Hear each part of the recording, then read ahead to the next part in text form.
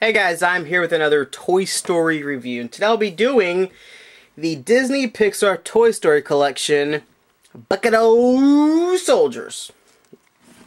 Again, a fabulous recreation of something that appeared in Toy Story. You got the Bucket-O Soldiers, and I'm not sure if we saw the bucket in Toy Story 2 or not. It's been a long time since I've watched either one of them. But I do know in Toy Story 1, we get a very clear view of the bucket. And aside from this being a little shorter than the one in the movie, it looks very good. Um, a major difference is, of course, we have the Disney Pixar Toy Story Collection logo on the side here. But really, you, you can't fault them for that. It's pretty cool. Um, the side here, you get see Thinkway toys. And, of course, the very top, I'm a thinking toy.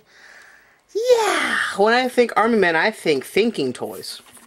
And then on the side here, you see 72 soldiers, including two with parachutes.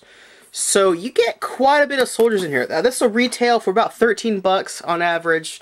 Um, Target is where I got mine, so people please don't ask where I got this. I got it at Target. Look in retail stores.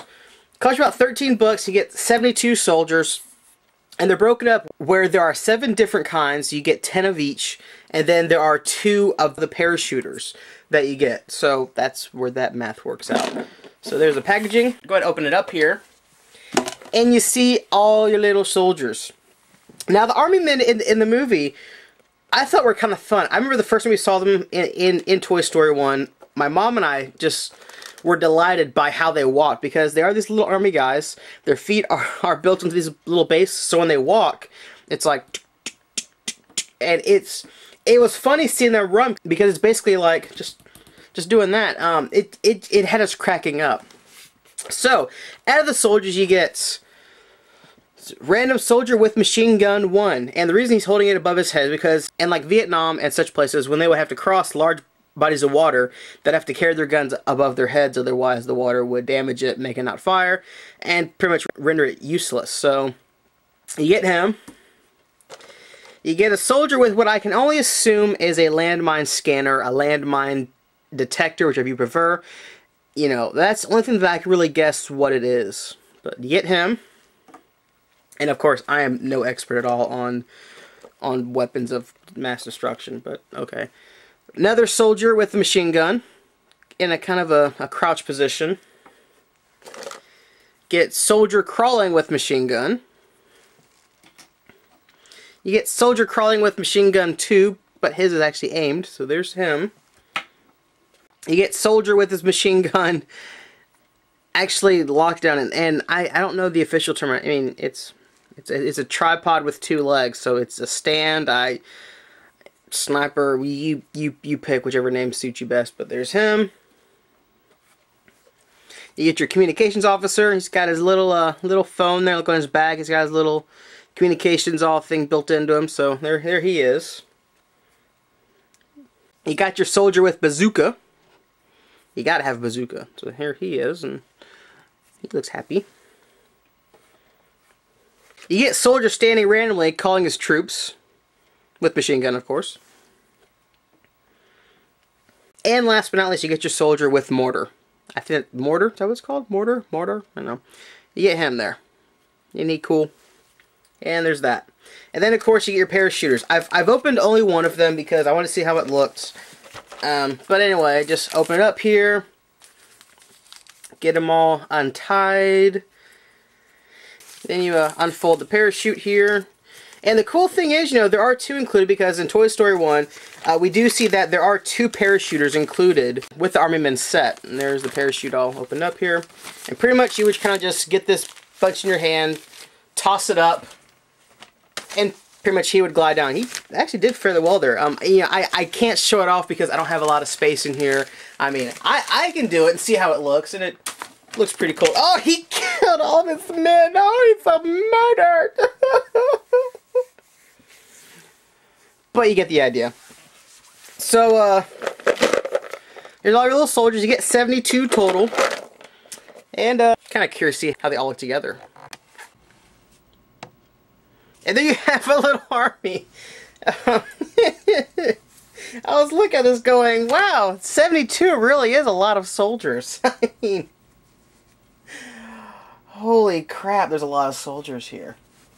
Now, um, one thing that I have noticed though, and I mean, you can just, so you can see how many there are.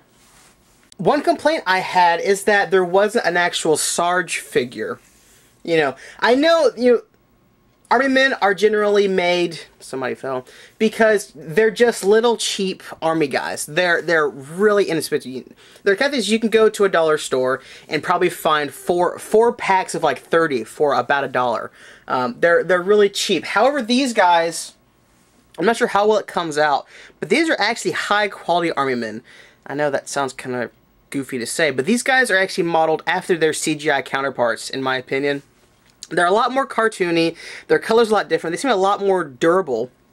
I remember are normally like really skinny, a lot more lifelike, and these guys just they have that Pixar kind of look to them, um, and it makes them not just I'm gonna go out and buy some Army guys at the store. These are actual Toy Story Army men, if you ask me, um, and it's it, it's pretty cool.